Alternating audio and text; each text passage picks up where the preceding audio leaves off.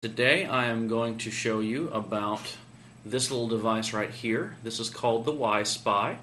It is a poor man's 2.4 gigahertz spectrum analyzer. This and a computer can take the place of a $10,000 piece of equipment depending upon what your needs are. Uh, 2.4 gigahertz is a very popular unlicensed radio spectrum, unlicensed set of radio frequencies if you will. Uh, very common today, used by wireless networks. This happens to be a Netgear Wi-Fi USB stick uh, used for Bluetooth, like for headsets for cell phones and whatnot. Uh, there is also uh, it's used for security cameras, uh, some of your cheaper security cameras that you can get through Radio Shack, Walmart, that sort of thing.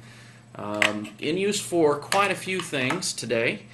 And what I'm going to do is show you how you can use this device to view and see how much of activity is going on in your neck of the woods on that operating or on those operating frequencies. So we're going to go ahead and jump over to the software that goes along with this. On Windows, that software is called Chanalyzer. Uh, there are third-party software programs equivalent to Chanalyzer available for Linux and for the Mac. Uh, those will be linked to. Um, I will try to provide some links for that to add to the show notes and also to put at the end of the segment so that you can, if you get one of these, you know where to go and get the software for it. These are available for about $100 or so on various places on the internet. They do have a new version of this out that actually has, this version has an antenna built in they have a new version that has an RPSMA connector so that you can just go ahead and attach your own antenna to it. Um, the other option you have, you could mod this following one of Fox's segments from a previous episode. I'm not going to do that to mine, however, I'm going to leave it intact just how it is because for my purposes, this way works just fine. So we're going to go ahead and switch over to the Chanalyzer software running on a Windows machine and I'll show you what this thing actually does and how this thing can help you if you're trying to track down an interference issue. This is Chanalyzer. I have the About Chanalyzer screen up, as you can see. It was made by MetaGeek, available at metageek.net. Go ahead and close that.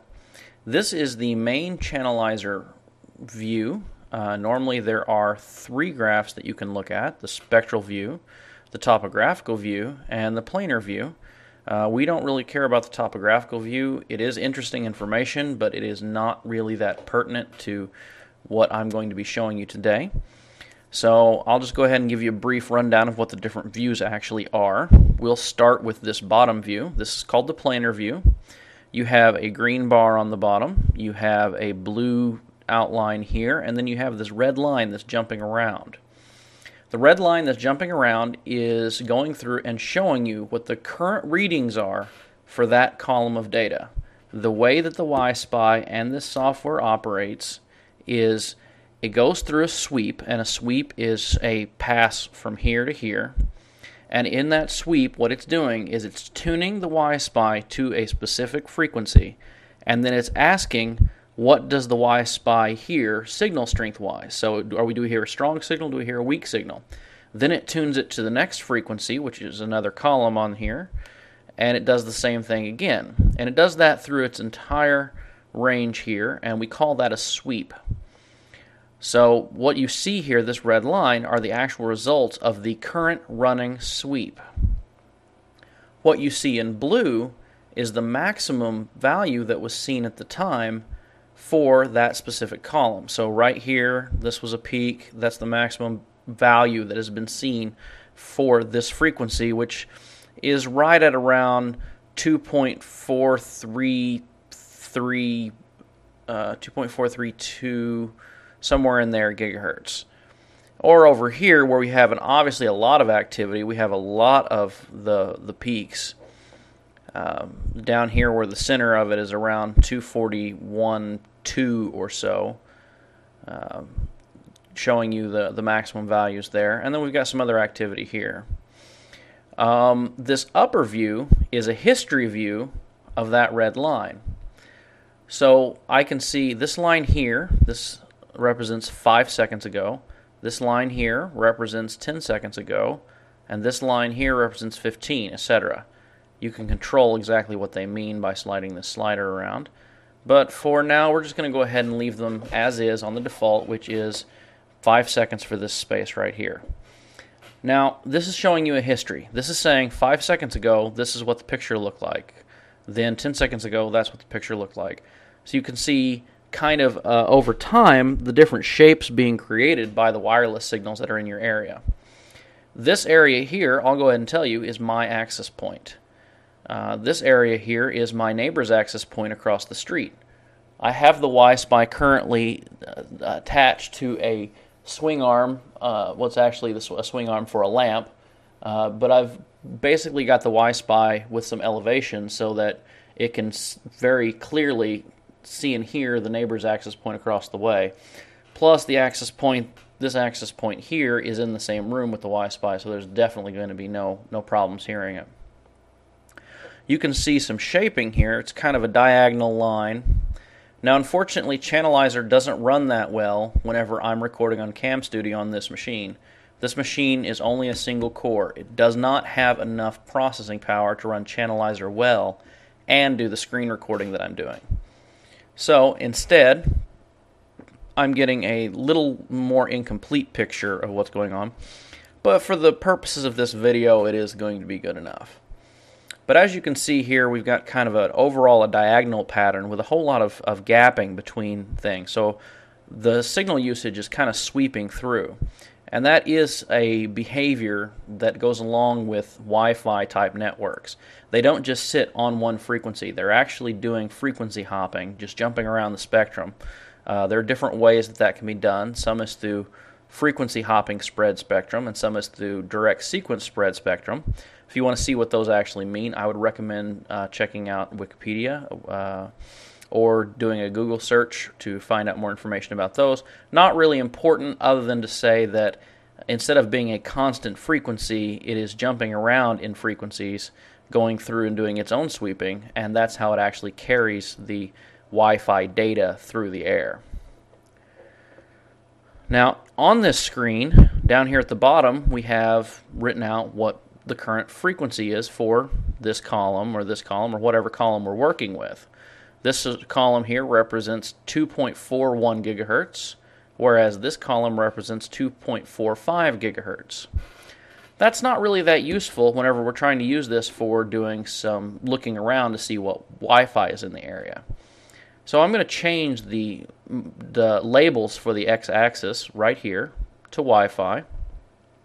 And now we have channel designations down here, 1 through 11. There are also 12, 13, and 14, but those channels aren't allowed for use in the US, so I'm not going to really touch on them that much. Um, but we'll go ahead and I'll just go ahead and tell you that my access point here, this one that's got a really strong signal, runs on channel 1. So I'm going to go ahead and click on 1. That highlights it. So you can see this expanse here represents channel 1. And you can see that almost all of that that it is hearing is contained within that rectangle. Now there's a little bit out here, and it may just be because the Wi-Spy is not the perfect is not a perfectly tuned piece of hardware, and it may be because my access point is not perfectly tuned. I don't have a more expensive uh, spectrum analyzer, so I can't really tell you. I don't have access to a more expensive spectrum analyzer. Otherwise, I would love to show you the differences between this and a, a what most or what a lot of people in the industry would, would term as a real spectrum analyzer. Don't have those resources, so we're going to have to make do with what we've got. But just to show you, this is encompassed here with this channel 1 marker. Now my neighbor across the street runs his access point on channel 11. And as you can see, all of this traffic very well contained within the boundaries of channel 11. Now if I were coming in here and this was not my access point, and this was not my access point, but I wanted to put an access point in, I would probably try to put it here into this empty area. I would look at these graphs, see, oh, hey, this one's really strong. This one's, you know, not really strong, but it's strong enough that I could use it. But this area here is pretty empty, so if I'm going to put a new access point in, I'm going to put it either on channel 6 or on channel 7 there uh, just based on the results of this graph. Now, it would not be a good idea for me to put it on channel 1. I could put it on channel 1, But since there's already somebody there, it's best for me to leave that alone and just. It's kind of one of those play fair kind of deals. I would be causing him interference, he would be causing me interference, so we're better off separating a little bit, and by separating, then we don't stomp all over one another. Another thing to watch out for is wireless video. Wireless video, or the cheap wireless security cameras that you can buy, the ones that operate on 2.4 gigahertz, actually, probably all of them, but I've only ever seen uh, what I'm about to show you in the case of 2.4 gigahertz.